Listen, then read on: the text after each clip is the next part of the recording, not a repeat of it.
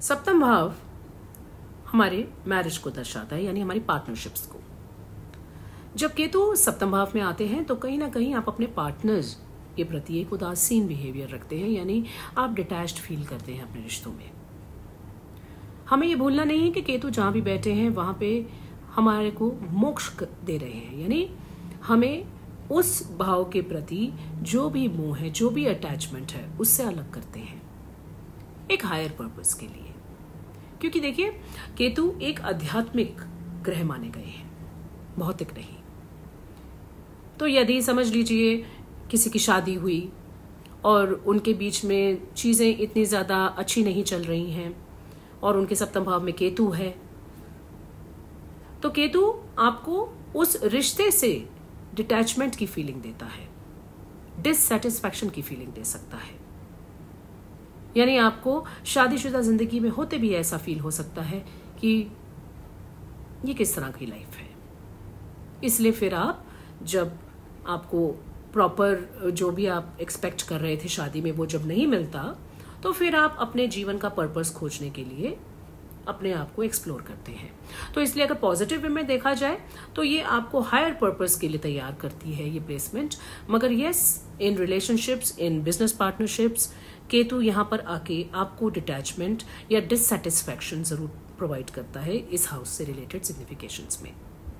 तो यहाँ पर भी आपको एक बैलेंस्ड अप्रोच रखनी है। आपको बहुत ज़्यादा अपने मैरिज को ठीक करने की या चलाने की, आपको उसके पीछे ऑब्सेसिव नहीं होना है। यानी जो है उसको एक्सेप्ट करना है और ईश्वर के भरोसे छोड़ना है उसे।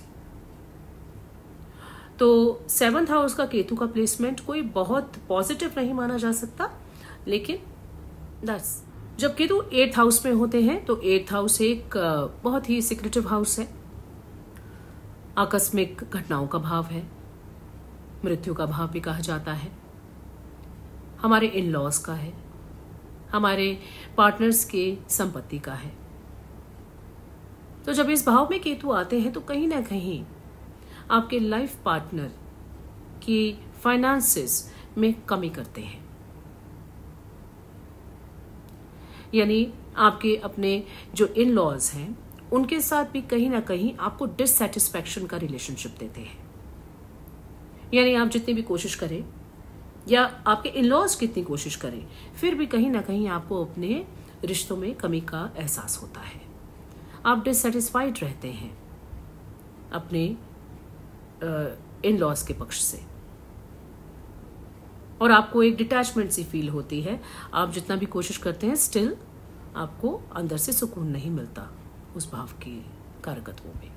कहीं ना कहीं एंसेस्ट्रल प्रॉपर्टीज़ में भी कुछ ना कुछ इश्यूज़ क्रिएट हो सकते हैं। और आकस्मिक घटनाएँ भी ऐसे लोगों के जीवन में हो सकती हैं। अचानक से चोट लग जाना, अचानक से सर्जरी का हो जाना, सेहत में अचानक से कुछ खराबी आ जाना। और क्योंकि केतु सिक्रेटिव है, इसलिए अगेन आपको सेकंड ओपिनियन ज़रूर लेना चाहिए, यदि आपको कोई फ़िज़िकल इशू आ रहा है तो।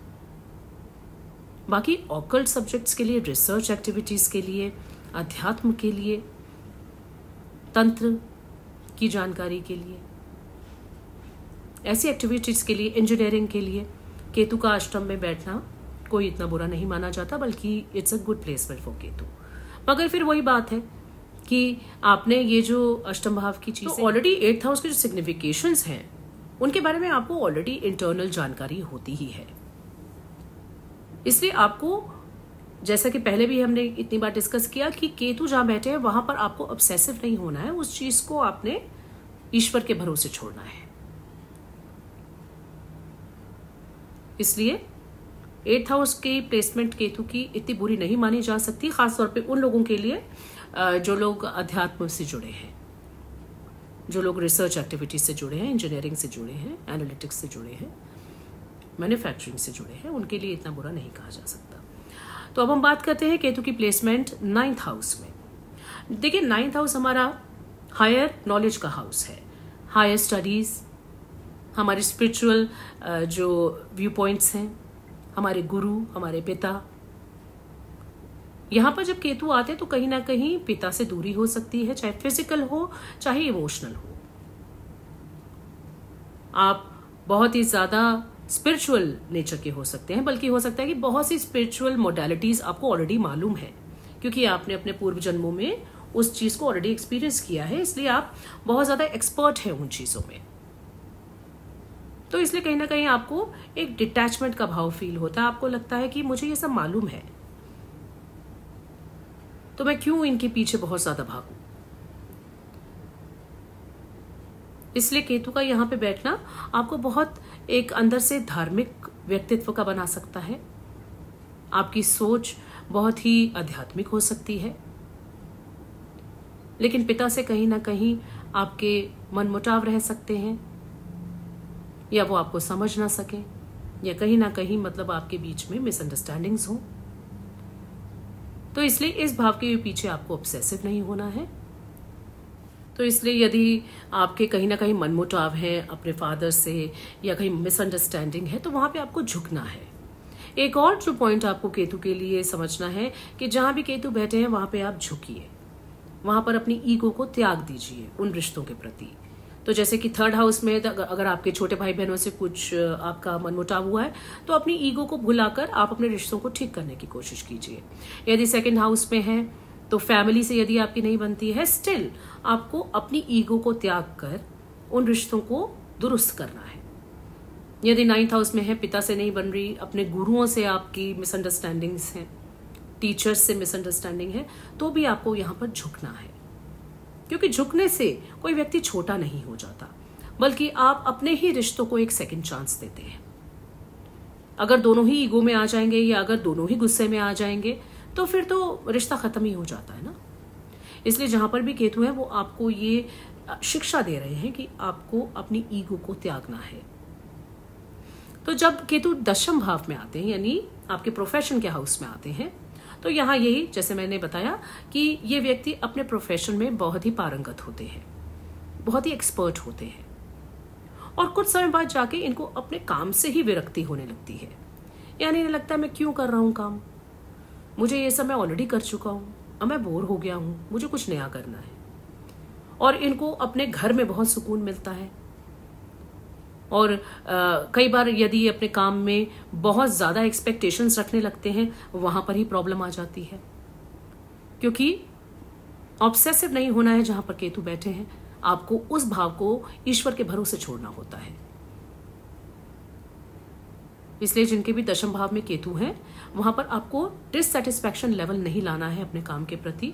आपको एक सेटिस्फैक्शन का तो कहीं ना कहीं डिससेटिस्फैक्शन का भाव अगर आपको अपने काम के प्रति आता है तो आपको ये दिमाग में रखना है कि जो भी मेरे लिए हो रहा है, मेरे प्रोफेशनल लाइफ में, वो सब अच्छा है और ईश्वर सब भला करेंगे। और जो भी मुझे प्रमोशन मिलनी है या मुझे जो भी बढ़ोतरी मिलनी है अपने कामकाज में, वो स्वतः ही होगी। यदि आप इस भाव के प्रति बहुत ऑब्सेसिव हो जाएँ और ये बोलें कि मुझे कुछ गेंस नहीं हो रहे, मैं इतना कुछ कर रहा हूँ तो फिर वो भाव आपको अच्छे रिजल्ट्स नहीं देगा, क्योंकि वहाँ केतु ऑलरेडी बैठे हैं। तो इसलिए जहाँ केतु है, आप समझ लीजिए कि केतु बैठे हैं वहाँ पे फल देने के लिए। आपको उसके बारे में ज़्यादा नहीं सोचना है। सिमिलरली जिनके केतु इलेवंथ हाउस में बैठे हैं, अब इलेवंथ हाउस क्या है? हमारे डिज़ायर फुलफिलमेंट का। हमारे बड़े भाई बहनों का, हमारा फ्रेंड सर्कल हमारी सोशल विजिबिलिटी हमारी इच्छा पूर्ति का। अब यहाँ पर जब केतु आ जाते हैं तो कहीं ना कहीं इंसान के अंदर इच्छाओं की बहुत भरमार नहीं रह जाती। यानी जैसा हमने पहले डिस्कस किया कि केतु जहाँ बैठ जाते हैं, वहाँ पे एक चीज़ को वो ड्राई आउट कर देते हैं। उससे आपको डिटैच करते हैं उस भाव से। यानी हो सकता है आप अपने भाई बहनों से दूर रहें, बड़े भाई बहनों से। आप अपने फ्रेंड सर्कल से दूर रहें। और कहीं ना कहीं आपको उस भाव के प्रति अपनी आसक्ति छोड़नी होगी, अपना ऑब्सेशन छोड़ना होगा और उसे भगवान के भरोसे छोड़ना होगा और पैसे के प्रति भी आपको अपना जो एटीट्यूड रखना है, वो ऐसे ही रखना है कि जो भी आ रहा है I am happy with that आपको ऑब्सेसिव नहीं होना है इवन पैसे के प्रति, अपनी अर्निंग्स के प्रति. यदि आप ऑब्सेसिव होते हैं और सिर्फ़ पैसे के बारे में सोचेंगे तो वो भाव आपको रिज़ल्ट नहीं देगा, क्योंकि वहाँ केतु ऑलरेडी बैठे हैं. तो आपको उस चीज़ को ईश्वर के भरोसे छोड़कर अपना काम करते रहना है.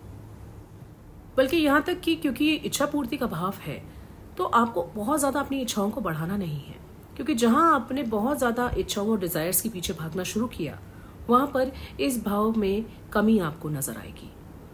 यानी आपकी इच्छाओं की पूर्ति में लंबा समय लगेगा। आपकी इनकम में प्रॉब्लम्स हो सकती हैं। आपके बड़े भाई बहनों से आपके मन मुटाव हो सकते हैं। आपके फ्रेंड सर्कल में आपको मान ना मिले, ऐसा हो सकता है।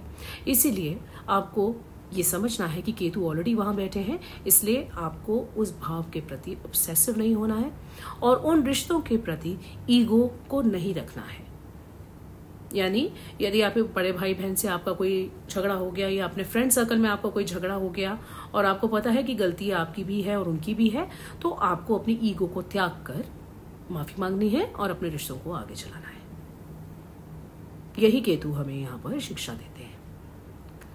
केतु का बारहवें भाव में बैठना बारवा भाव हमारी इन्वेस्टमेंट्स का है फॉरेन ट्रेवल्स का है स्पिरिचुअलिटी का है, एक अननोन वर्ल्ड जिसे हम नहीं जानते हैं, हमारे पितरों का भी माना जाता है, हमारी स्लीप पैटर्न्स भी हैं, हमारे बेड प्लेशर्स भी बारहवें भाव से देखे जाते हैं। तो यहाँ पर जब केतु आ जाते हैं तो कहीं ना कहीं आपको अध्यात्म की तरफ़ आपका रुख करने के लिए आते हैं। लेकिन, क्योंकि केतु का नेचर ही है कि वो आपको उस भाव से डिटैच करता है। यानी आप बहुत ही आध्यात्मिक रहे होंगे अपने पूर्व जन्मों में। बहुत ही आपने चैरिटी की होगी डोनेशंस की होंगी। इसलिए इस बार वो ऑलरेडी आप कर चुके हैं, इसलिए आप उन चीज़ों से दूर होने लगते हैं। लेकिन फिर वही बात कि हमें बैलेंस्ड अप्रोच रखनी है। शादी के बाद हो सकता है कि आपका बहुत ज़्यादा ध्यान अपने रिलेशंस में ना रहे, आपको डिटैचमेंट फील हो। और कहीं ना कहीं आपको स्पिरिचुअलिटी की तरफ़ जाने का मन तो करता है, लेकिन आप उससे कटने लगते हैं। क्योंकि आप ये भी ज़रूर याद रखिए, केतु के बिल्कुल ऑपोजिट राहु बैठे होते हैं। तो जहाँ भी राहु बैठे हैं, वहाँ पर आपको फोकस करना है। यही आपका पर्पस भी होता है लाइफ में, कि जहाँ राहु है, वहाँ आपको फोकस करना है। लेकिन क्योंकि केतु की जो चीज़ें हम ऑलरेडी कर चुके होते हैं अपनी पास लाइफ में, वो चीज़ों से हम पारंगत होते हैं, हम ऑलरेडी एक्सपर्ट होते हैं उस चीज़ में। तो ऐसे लोग इंटरनली बहुत स्पिरिचुअल होते हैं। इनके अंदर चैरिटी का भाव होता ही है। कहीं ना कहीं बेड प्लेजर्स में कमी होती है। इन्वेस्टमेंट्स होती हैं, लेकिन इन्वेस्टमेंट्स में कहीं ना कहीं आपको डिससेटिस्फैक्शन का फीलिंग आता है। इसलिए अगेन आपको एक बैलेंस अप्रोच रखनी है बारहवें भाव के प्रति भी, और यहाँ पर फॉरेन ट्रेवल्स भी बहुत होते हैं, और कई बार फॉरेन सेटलमेंट भी पॉसिबल होती है। तो ओवरऑल हमने देखा कि केतु जहाँ पर भी बैठते हैं, उस भाव को हमने बिल्कुल भी ऑब्सेसिवली फॉलो नहीं करना है। क्योंकि वो ऑलरेडी वो चीज़ें हम अपने अंदर इनकलकेट कर चुके होते हैं अपने पूर्व जन्मों से। और हमें अपनी ईगो को त्यागना होता है जहाँ पर भी केतु बैठते हैं।